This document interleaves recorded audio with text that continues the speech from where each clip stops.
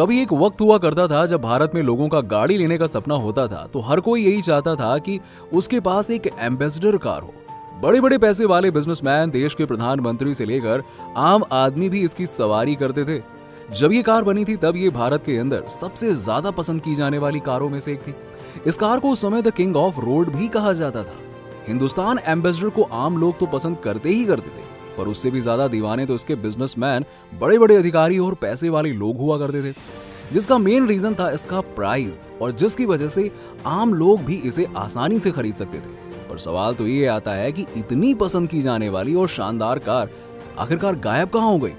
जिसे हिंदुस्तान के हर एक कोने से लोग पसंद किया करते थे। तो शुरुआत करते हैं हिंदुस्तान एम्बेसडर की पूरी जर्नी की आखिरकार इसकी शुरुआत कैसे और कब हुई। तो इस कहानी की शुरुआत सन 1956 में हुई, जब इसका नाम हिंदुस्तान मोटर्स था। तब उस समय की ब्रिटिश कंपनी से दो कार बनाने का लाइसेंस लिया। पहली मॉरिस ऑक्सफोर्ड वन, दूसरी मॉरिस ऑक्सफोर्ड टू और उस ब्रिटिश कंपनी का नाम था ब्रिटिश मोटर कॉरपोरेशन। इसके बाद हिंदुस्तान मोटर्स ने ब्रिटिश कंपनी की कार को बनाते बनाते अपनी खुद की कार बनाई, जिसका नाम था हिंदुस्तान वन ज़ीरो और लैंड मास्टर। एम्बेसडर गाड़ी की जो सबसे खास बात थी, वो ये थी कि ये पूरी तरह से भारत में बनाई गई थी। हिंदुस्तान मोटर्स ने एम्बेसडर को मॉरिस ऑक्सफोर्ड सीरीज़ की एक गाड़ी को देखने के बाद बनाने के बारे में सोचा था। मॉरिस की वो गाड़ी सिर्फ़ और सिर्फ़ अमीरों के लिए ही थी।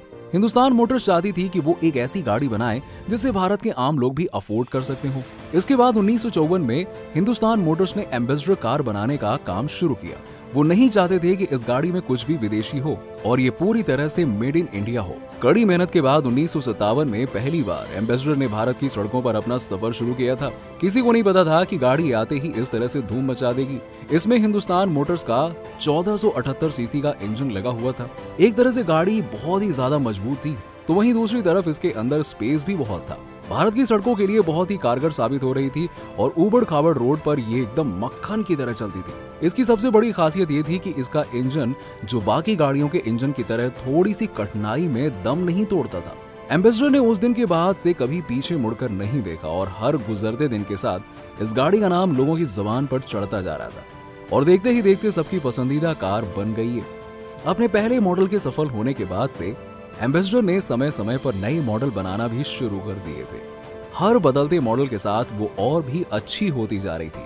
एम्बेसडर के निर्माताओं ने भी नहीं सोचा था कि उनकी कार लोगों को इस कदर पसंद आएगी।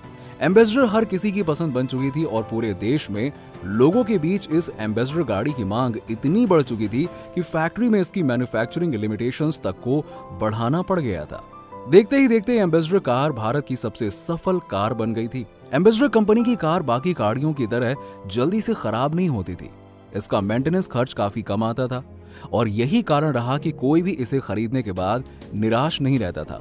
कहते हैं कि एक वक्त पर इस कार की मांग इतनी बढ़ गई थी कि 16 परसेंट एम्बेसडर कार तो सरकारी लोग ही ले लिया करते थे। हर किसी के लिए एम्बेसडर कार पहली पसंद थी सुरक्षा और कंफर्ट के मामले में। उन्हें इससे अच्छी कोई गाड़ी ही नहीं दिखाई देती थी। लोग एम्बेसडर कार के पीछे बिल्कुल पागल थे। ऐसा कहा जाता है कि साल उन्नीस सौ चौरासी में एम्बेसडर के गाड़ियों की इतनी मांग थी कि उस साल लगभग एक लाख से ज़्यादा गाड़ियों का निर्माण हुआ था और 2004 में तो हिंदुस्तान मोटर्स ने 9 लाख एम्बेसडर कार का प्रोडक्शन किया था। इस कार में अमीर गरीब कोई भी सवारी कर सकता था। इसकी सबसे बढ़िया बात थी कि बहुत ही कंफर्ट वाली सवारी थी, जिसमें आप कम पैसों में भी लंबा सफ़र तय कर सकते थे। रोड भले ही कितनी खराब हो और इसके अंदर आपको कुछ असहजता महसूस नहीं होती थी उस समय तक भारत में टैक्सी के रूप में इससे अच्छी कोई गाड़ी आ ही नहीं पाई थी। बड़ी बड़ी विदेशी कंपनियाँ भी अपनी गाड़ी इसके सामने ले आई, लेकिन कोई टिक नहीं पाई थी। इस कड़ी में एक सर्वे के तहत एम्बेसडर को दुनिया की सबसे अच्छी टैक्सी चुना गया था। और ये न सिर्फ़ हिंदुस्तान मोटर्स बल्कि हिंदुस्तान के लिए गौरव की बात थी कि इसे इतना बड़ा मुकाम हासिल हुआ। एम्बेसडर भारत की सबसे लंबी चलने वाली कार थी। सालों से अपनी एक ही डिज़ाइन के साथ लोगों के सामने आती रही थी।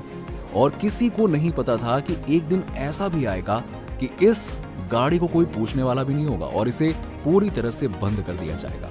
अपने पुराने डिज़ाइन पर ही बने रहना एम्बेसडर के लिए असली परेशानी बन बैठा। जमाने में नई सस्ती और अच्छी गाड़ियाँ आने लगी थी, जो एम्बेसडर से ज़्यादा किफायती थी। बदलते वक्त के साथ लोगों ने भी अपनी सोच को बदलना शुरू कर दिया और एम्बेसडर पर कोई नज़र ही नहीं डाल रहा था। आखिर में धीरे धीरे इसकी मांग भी कम होने लगी और प्रोडक्शन आधे से भी कम हो चुका था। 2014 के आते आते हिंदुस्तान मोटर्स ने ये घोषित कर दिया कि वो अब एम्बेसडर की और गाड़ियाँ नहीं बनाएँगे। थोड़े ही समय में स्थिति और खराब हो गई और फरवरी 2017 तक हिंदुस्तान मोटर्स बिकने की हालत में आ गए। कंपनी के मालिकों ने आखिर में पूरी कंपनी फ्रांस के मोटर कंपनी पूजो को बेच दिया और वो भी महज 80 करोड़ रुपए में और इसी के साथ ही एक ही दिन में एम्बेसडर कार वर्तमान से इतिहास बनकर रह गई। एम्बेसडर कब वापसी करेगी ये तो कोई नहीं जानता, लेकिन एम्बेसडर एक नाम नहीं, बल्कि एक एहसास थी। जिन्होंने उसका अनुभव लिया है, वही जानते हैं कि आखिरकार वो उनके कितना करीब थी। आज एम्बेसडर दुर्लभ प्रजाति की गाड़ी बन चुकी है। एम्बेसडर कार बेशक आज भी सड़कों पर दिख जाती है, लेकिन ना के बराबर। वक्त की धूल में ये भले ही कहीं खो गई हो, लेकिन भारतीय गाड़ियों के इतिहास में इसका नाम सबसे ऊपर रहेगा।